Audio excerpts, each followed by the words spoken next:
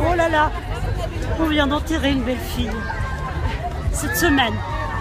Donc ça, ça a un sens. Lydie, vous aujourd'hui alors donc c'est la deuxième année consécutive que je participe à cette, euh, course. Et pour moi c'est important, c'est pour donner espoir à toutes ces femmes qui sont touchées par le cancer, parce que j'en ai plein autour de moi, et euh, donner vie, et, euh, ça donne plein d'énergie, ça fait du bien pour courir, de courir pour une cause spécifique surtout.